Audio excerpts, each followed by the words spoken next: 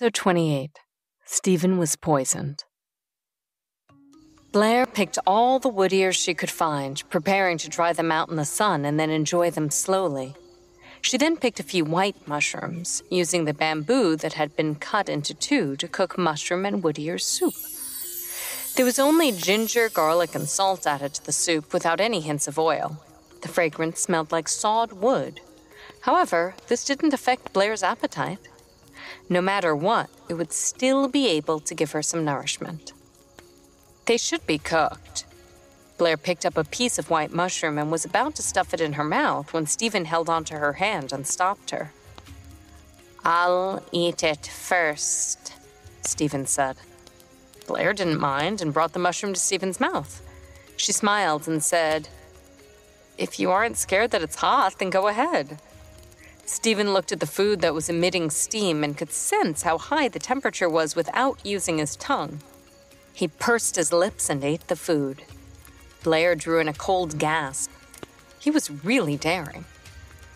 Steven didn't even chew it and just swallowed the piping hot mushroom whole. His scarlet tongue flashed by his lips, giving off hissing sounds.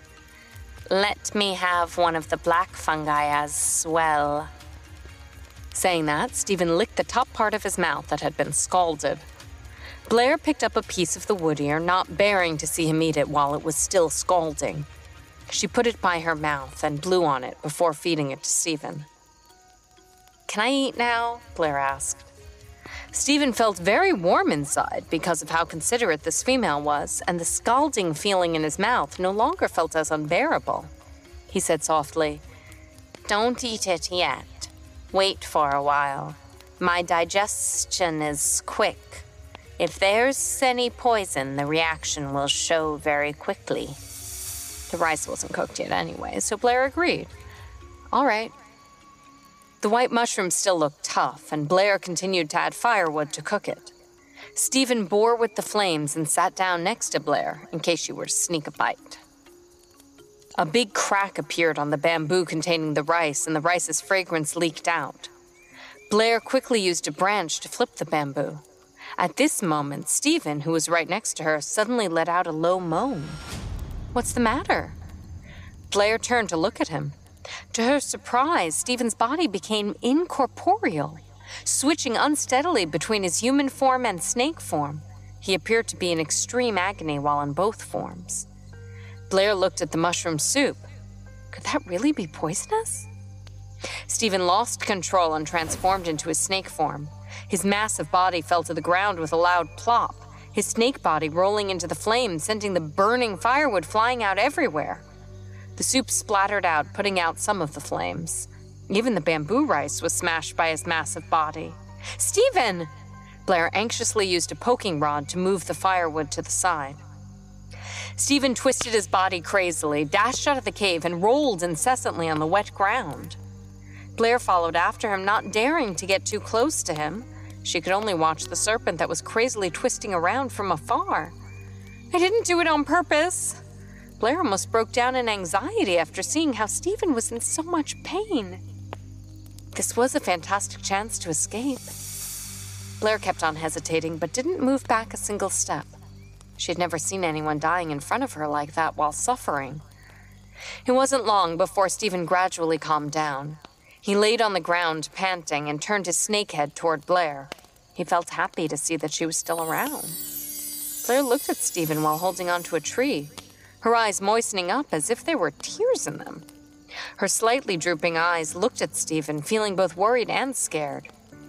Blair still had thoughts of escaping, but she knew that it was too late for that now. However, given that Steven had recovered so quickly, he'd definitely be able to catch her and bring her back very quickly, even if she had attempted to escape earlier. Steven took on his human form and walked towards her. The first thing he said was, Thank God you didn't eat it. There was no blame in his tone, not even a hint of anger, just pure relief. It was male's nature to be indulging toward females. It was no exception to feral beasts. Their only baseline was not to be abandoned. Blair's eyes felt sore. She said in a broken voice, I'm sorry. Steven hugged Blair, kissing her tearing eyes, sucking away the moisture gently. It's fine as long as you're all right. I've spoiled your food. I'll be very happy as long as you're not mad at me. How can you be so foolish? Blair glared at Steven, not appearing threatening at all. After seeing the red scald marks on his chest, she gently pushed his chest and said, Let me go. Let me take a look at your wounds. Steven's scales were tough. His flesh wasn't scalded, even though he had rolled over the fire. It was just that a large area of his skin near his waist had turned red and was slightly wrinkled.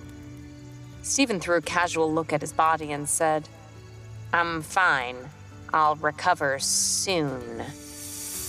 Blair had wanted to help Steven to take care of the wound, but she didn't recognize medicinal herbs. She seemed to recall that scalded wounds shouldn't come into contact with water either, and the heat on the wound must be allowed to scatter. Right now, the best way of dealing with things was to not take care of it at all. Blair thought to herself, her heart aching, The males in this world are too foolish. Won't they get angry? Didn't they say that feral beasts are abominable? But she felt that Steven, a feral beast who was planning to mate with her by hook or crook, seemed better than 80% of the men in her world. Steven took Blair's hand and returned to the cave. Ashes were scattered all over the ground, and it was difficult to walk around. You stay outside. You can come in after I've cleaned up the place, Steven instructed her. No need. I'll clean up together with you. After saying that, Blair plucked some grass, putting them together to sweep the ashes. Seeing that the female's way of cleaning was very safe, Steven didn't say anything. He also looked for a tool to clean up the floor. Ouch! Blair suddenly let out a cry and propped up her leg to take a look at the bottom of her foot. Steven immediately threw aside his cleaning tool and carried her up by the waist, asking anxiously, You were scalded? Blair smiled shyly. I only stepped on some firewood that's a little hot. It's already extinguished and isn't really that hot. Steven's face turned cold, feeling displeased. He carried Blair and walked out of the cave, placing her on a rock. After checking that there weren't any wounds on her foot, he said solemnly, Stay here and don't move. Otherwise, I'll kiss you. Blair, who hadn't thought much of it in the first place, immediately behaved herself, nodding. All right, I won't move. Steven felt a little disappointed. Did the female dislike him kissing her that much? Before he turned away, Steven quickly planted a kiss on Blair's lips, then moved away. Hooligan beast man! Blair rubbed her lips vigorously, but in a cute manner. Her gaze landed on the wood ears that were drying out at the cave's entrance. Why was the fungi soup poisonous? She'd only put in white mushrooms and wood ears. Maybe all the fungi in this world were dangerous? Blair felt that this was highly unlikely. Then there was only one possibility. She had recognized the wrong breed. The poisonous one must be the white mushroom. Woodear's appearance wasn't too unique, and it was impossible to mistake them. The white mushroom, on the other hand, had a more generic appearance. It could be that she had mixed up a type of poisonous mushroom with the white mushroom. Steven helped Blair to cook the rice again before bringing her back in. Blair couldn't bear to give up on the wood ears outside the cave. She lowered her head, saying softly and hesitantly, I still want to cook the wood ears. Steven said without any hesitation, If you wish to eat them, then cook it. I've eaten two types earlier and have no idea which is the poisonous one. Blair immediately shook her head. No, no, no, I'll test it out myself. Or you can catch a rabbit or something to test for poison. There aren't any animals that eat this. Steven smiled, not disputing with Blair. He just waited for her to finish cooking the soup again and ate a piece of the wood ear before she did. Blair felt touched and didn't refuse Steven's kind intentions. She sat at the side and waited. As expected, the wood ears weren't poisonous. After getting Steven's consent, Blair finally had a bite of the fungus. However, the taste wasn't as good as she imagined it to be, and she couldn't really discern the taste.